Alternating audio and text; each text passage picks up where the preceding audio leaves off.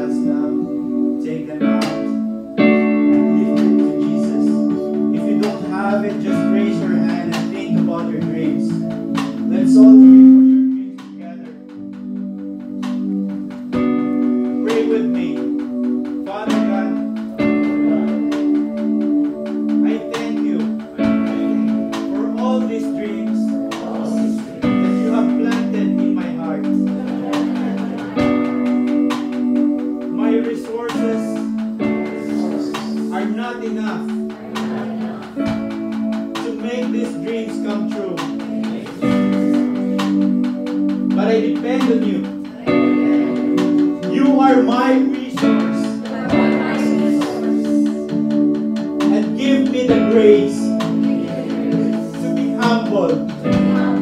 Take out my pride. Take out my